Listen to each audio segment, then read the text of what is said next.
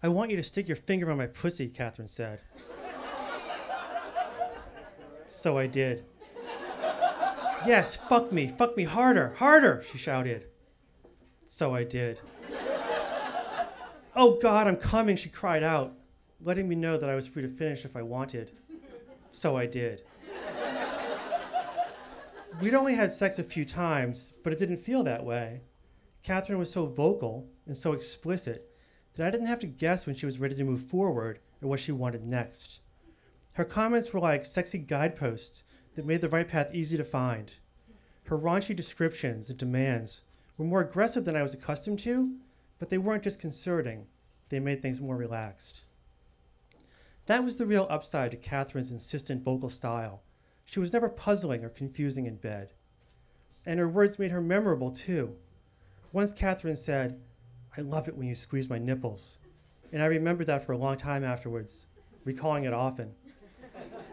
I have almost no memory of how things felt, or how they tasted or smelled. Even visual memories fade on me quickly, and I can conjure images of faces and bodies only indistinctly.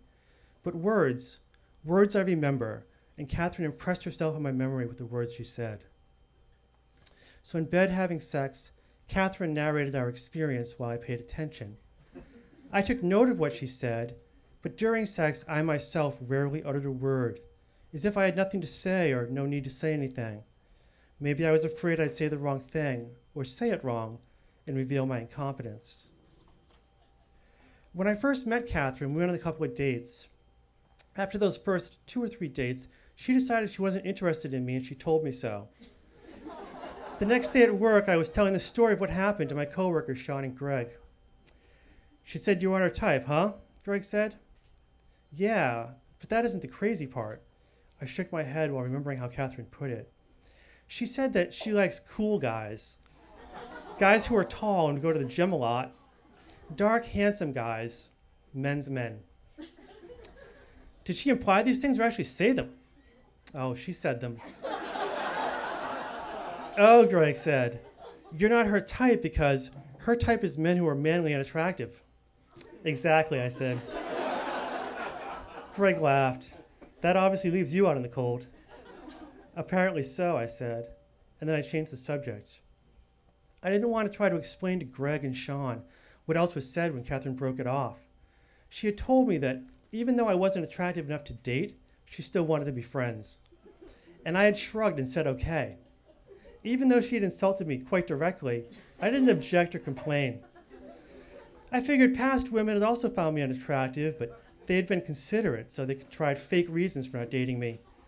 Somehow, when Catherine came right out and said she found me unattractive, she didn't seem inconsiderate. She seemed uncontrived.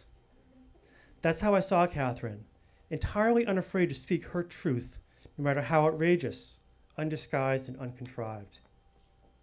It was after six months of being just friends that Catherine changed her mind. She blurted out that she wanted to fuck me after all. And just like that, we started dating again. One night we were fooling around when Catherine suddenly stopped what she was doing and spoke up. Why don't you tell me what you want? she said. I almost winced. You know what I like, I said. She pressed a little. You won't tell me?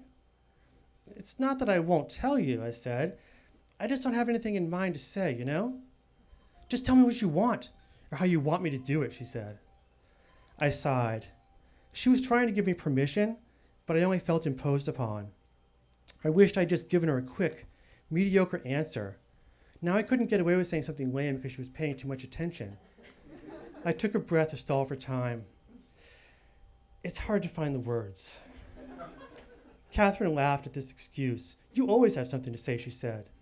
Yeah, that's true, just not tonight. I don't know why, but next time, I mean soon.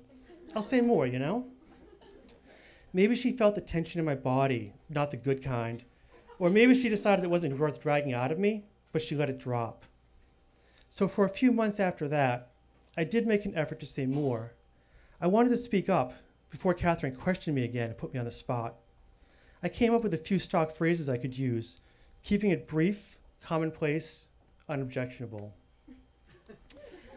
I want you to suck my cock, I said to her once. I want to fuck you from behind, I said a different time. Such trite, trite statements of desire and intent I mustered up. These attempts at dirty talk were mostly failures. The problem was my delivery, which was hesitant and uncertain. there are things you're allowed to say half-heartedly, like, let's watch TV. That's no big deal. But if you tell a woman, I want you to lick my shaft, you have to say it forcefully or with enthusiasm. If you say it indifferently, like it's a question, I want you to lick my shaft, that's confusing and ridiculous. Which is not to say I didn't want a blowjob from Catherine. I just didn't want one. I wasn't asking for what I wanted, I was just saying what I thought she wanted to hear. I treated it like a performance, practicing my lines in front of the bathroom mirror, like a smutty Travis Bickle. You want to suck my cock? You want to suck my cock? You want to suck my cock?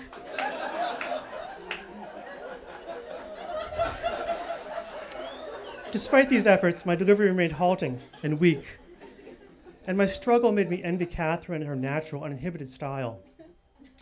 I wanted to be just like she was and cut loose unself consciously. But I only envied Catherine's natural style until I learned about Traci. We were driving down to her parents' house when she told me the story. Do you know who Traci Lords is? she asked. I had to think for a minute. You mean the porn star? Catherine nodded and then she launched into the story. Traci Lords was a popular porn star in the 80s, appearing in hundreds of movies. After making these hundreds of movies, she announced that she had begun her porn career at the age of 15 using a fake ID. Catherine's parents owned a video store when she was a kid, and like most suburban video store owners in the 80s, the store had a large adult section. On the day Traci Lords announced she'd made movies as a 15 year old, Catherine's parents, like pretty much every other video store owner in America, became child pornographers. Stricken with alarm, they pulled all their Traci Lords VHS tapes off the shelves, brought them home, and hid them in the basement. That's where Catherine found them. In high school, I used to watch those movies every day after school, Catherine explained. That's how I learned about sex. Uh, watching the pornos your mother hid in the basement? Yeah, watching Traci Lords. She was amazing. As Catherine told me this story and detailed how she thought Traci Lords was so awesome at sex, I realized that Catherine's favorite moves and lines had been lifted, really stolen, from Traci Lords' work. She explained how Traci's dirty talk and orgasmic shrieking were very distinctive, and it became clear that Catherine was also describing how she herself reacted in bed. So the whole time I was trying to come up with an act that could compete with Catherine's natural way in bed, she wasn't being herself at all. Her words were just as contrived as mine, if not more so. I wondered if Catherine was even aware of me when she spoke up in bed, or if she was just reciting poor movie dialogue and picturing the movie she'd watched. I found this idea disappointing and a little deflating. After Catherine's Traci Lords revelation, our sex life continued in much the same way as before. She carried on like a cat in heat, saying all sorts of dirty, crazy things, and I did my thing, mostly silently but I didn't feel the same need to match her word for word. I decided we weren't in a competition to prove who could be the most sexual or the least self conscious. We were both just trying to enact our idea of a good time in bed based on our understanding of sex, incomplete and uncertain as it was. One day at work, Greg was giving me a hard time because I refused to reject a loan application he wanted me to get rid of. The borrowers were marginal, but I wanted to see if they would sneak by.